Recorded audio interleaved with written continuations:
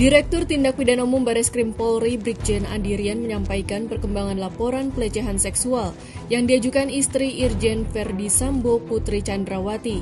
Putri mengaku menjadi korban dalam kasus pelecehan yang dituduhkan dilakukan Brigadir Yosua Huta Barat. Karena tidak ditemukan unsur pidana, kasus pelecehan ini resmi dihentikan. Selain perkara dugaan pelecehan terhadap istri Irjen Verdi Sambo, polisi juga menghentikan kasus dugaan percobaan pembunuhan terhadap Barada Richard Eliezer dengan terlapor Brigadir Yosua.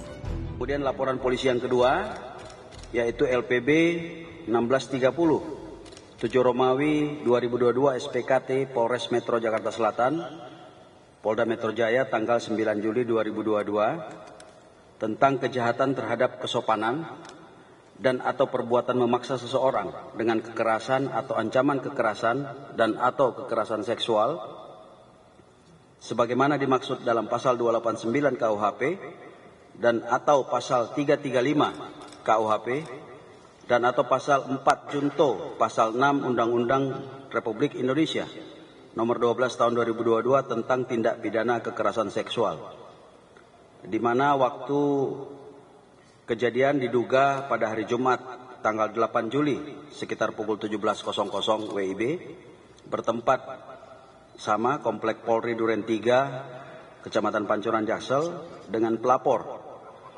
Putri Chandrawati, korbannya juga sama, terlapornya adalah Nofriansa Joshua. Berdasarkan hasil gelar perkara tadi sore, kedua perkara ini kita hentikan penyidikannya karena tidak ditemukan peristiwa pidana.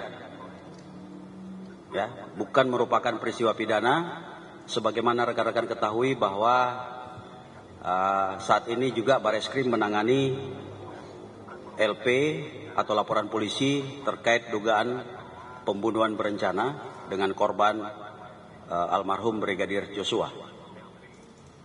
Oleh karena itu, uh, berdasarkan hasil gelar tadi saya sampaikan perkara ini dihentikan penanganannya.